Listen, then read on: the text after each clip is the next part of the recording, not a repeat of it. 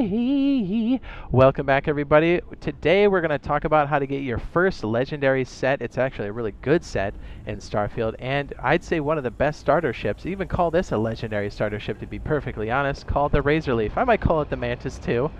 Uh, but yes, this is such a good ship and it's so early game, so there's going to be no spoilers here. We're going to give you the bare minimum to go find this. We're going to let you figure out all the puzzles and stuff, but this is for people that are getting started today because this should be out in time for Game Pass when this hits for you guys. And also, anybody that's been playing Starfield up to this point and you haven't gotten the ship, it's so good. You might as well get it. The Razorleaf and your first legendary set. And let's not forget the little trick to save before you actually go in the room and pick this up. And you can re-roll your legendary set until you get something you really like. Okay, so as I said, no spoilers here, but there is um, there is a mission involved with this that's considered quote unquote main quest. But honestly, most people that have played this would say this is like tutorial level quest. I mean, I've barely progressed in the main quest, and so like there is just one minor piece that you need for this before you can actually unlock this location. So let's walk through it. All right, in order to uh, start this, you do need to be in the quest called Old Neighborhood and Sarah does that. And again, I'm not giving anything away. That was all in Starfield Direct. You know who Sarah is, and she's going to walk you around the solar system, and I'm going to show you where this is at. So hopefully this all makes sense. Because it was a little confusing for me to find this, and like it's hard to know like when this particular thing triggers because you have to do it during a mission. So uh, we do start off in Alpha Centauri, and I'm going to move over there. Okay. And eventually she's going to take you. So New Atlantis is on Alpha Centauri she's going to take you up to the Sol system, which is essentially our system in real life. Right here. And when you do, you're going to be brought to Old Earth, which is right up here. And then our moon, which in this game is called Luna. You'll see like the Apollo landing. So when you're doing this mission, and this mission over here where you're doing the station called Star... What is it called? I gotta get in closer. Star... Star Station. Um, you want to make sure that you're looting all the bodies to find a note.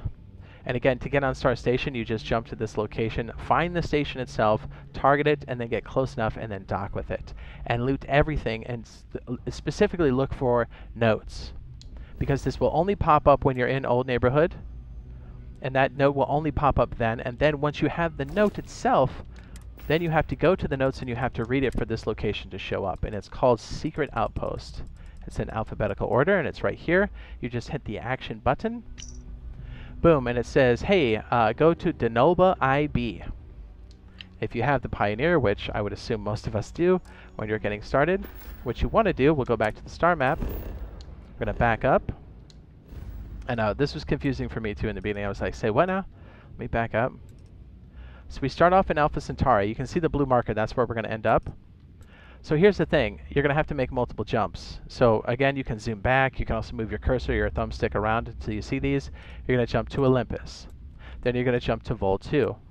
Then you're going to jump to Pro, Pro Mira, Myra, I don't know how to say that. And then you're going to jump up to Denoba. When you do, when you're inside of here, you should see the quest because you've read it.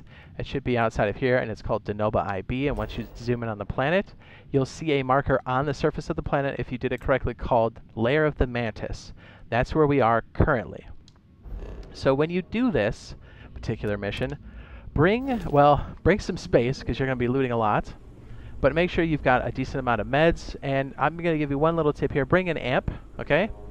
Then make sure you've got plenty of bullets for multiple weapons. Even bring your mining laser because if you run out, the mining laser is a nice clutch weapon that just it its ammo is waiting for it to recharge. So in a clutch, you've got that. So yeah, it's a big deal. So once you're through here, you want to make sure that you're looting as much as you can. Bring your companion, to loot mule with that person. And then when you get to the end puzzle, again, I'm not going to spoil it for you. Just pay attention to all the dialogue and the little notes that are happening during the actual mission you should be able to figure out what it is. And again, if you want a little tip, uh, just bring that amp, and that'll help you out if you're having a hard time with the puzzle. Just saying, you'll be able to figure it out. Once you work your way down the tunnel, make sure you're saving as you go, but make them separate saves. Don't just rely on autosave, because there might be some points where you want to reload and see what the role is for the Mantis gear. Uh, when you do eventually come in, you'll be super excited to go get the Razorleaf, but before you do, go find the living quarters in the back here. Loot all the goodies. There's a lot of little hidden stuff everywhere, so just pick it all up. And then when you get back here, you're going to see, past the bedroom, there's a mannequin here that has the first legendary gear that you're going to have, and it's actually really good. And again, if you don't like the roll on it, you can always hit that save point before you entered this room. You should be able to see it again. So we've got oh, the, the spacesuit, the pack, and the helmet. And it does come with a bit of reputation as well.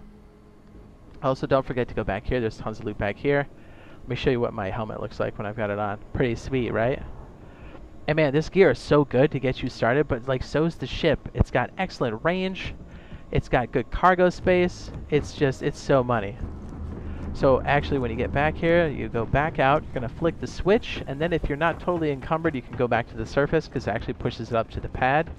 And I saved the moment here for you so we can actually do it together. Hold me, Jack. Hold me.